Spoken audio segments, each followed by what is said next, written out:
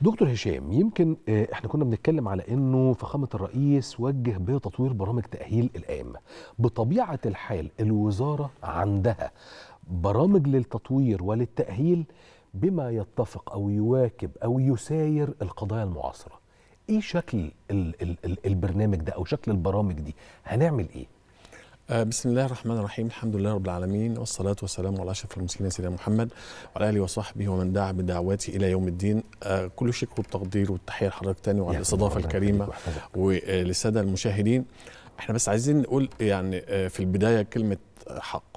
آه، كلمة حق أنا أصلا إمام مسجد. جميل. آه، آه، طول عمري كنت في وزارة الأوقاف. أنا تعيين 99 أنا آه، عمري ما شفت في وزارة الأوقاف آه، تدريبات آه، للسادة الأئمة غير عادية. تدريب كان في تدريب روتيني عادي. بعد ما تتخرج من الجامعة تخش تدريب عادي خالص اسمه تدريب تأهيلي تاخد فيه تفسير وحديث زي الأمر اللي كان في الجامعة. جميل. الأمر ده فضل آه، ثابت إلى أن تولى معالي الاستاذ الدكتور محمد مختار جمعة وزارة الأوقاف أحدث آه، آه، يعني تدريب نوعي غير مسبوق في تاريخ الوزارة. حلو. أصبح النهارده في حاجات يعني بالنسبة لنا إحنا كأئمة غريبة جدا. أصبح في خطة مدروسة للتدريب أصبح في حاجة اسمه تدريب ال- التأهيل البداية خالص للإمام ده موجود.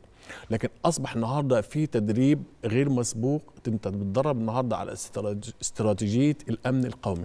أنت بتدرب النهارده على مفاهيم يجب أن تصحح المفاهيم المغلوطة اللي إحنا كلنا عانينا فيها في في, ال- في الآونة اللي قبل كده من التفسيرات ال- ال- الخاطئة من التأويلات الباطلة من آه، آه، اللعب بالدين بالعواطف بالمشاعر بأي شيء تاني آه، تح- تحميل النصوص ما لا تتحمله. أصبح النهارده في دورات متخصصة في تصحيح المفاهيم الخاطئة.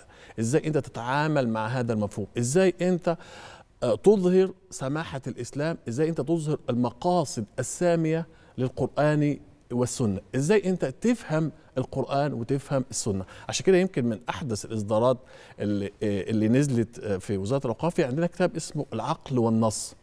مع إن آه، ممكن نقول إن النص سابق. النص القرآني والنص السنة لكن إحنا قدمنا ليه العقل على النص؟ ما هو أنا لو مش فاهم ال- ال- ال- ال- النص ملوش فايدة عندي. أنا ممكن أجيب القرآن والسنة والف براحتي زي ما كان حاصل قبل كده لكن إحنا بنقول العقل في فهم النص. إزاي أنت تفهم النص؟ حاجة بسيطة خالص يمكن آه، من ضمن الحاجات ال- ال- تصحيح المفاهيم يمكن مثلا حديث السواك وده حديث مشهور جدا. يمكن كنا نشوف الشخص يخش بالسواك المسجد وحطه في جيبه ويجي يصلي بالسواك رايح جاي. ممكن السواك ده ما يكونش نظيف ما يكونش مثلا طاهر. لا هو أهم حاجة عنده السواك. طب هو الهدف والغاية؟ النظافة. حضرة النبي مش عايز السواك حضرة النبي عايز عايز النظافة. النظافة. الأصل في الموضوع. الأصل في الموضوع. لما أجي استعمل أستعمل المعجون النهارده أو الغسول. أقول لك لا أنت كده مش مسلم. أنت كده مش مطبق السنة. هي السنة إيه؟ النظافة. يبقى سواء كان في سواك كان في معجون كان في غسول يبقى الهدف الأساسي النظافة. يبقى ننظر إلى النص وفهم النص الصحيح في العصر الحديث. لأن أنا لو قلت لازما السواك يبقى كده الإسلام ده متحجر. الإسلام ده لا يصلح لكل زمان ومكان. طب هو يصلح لكل زمان ومكان إزاي؟ مم. لازم أنا أكون فاهم.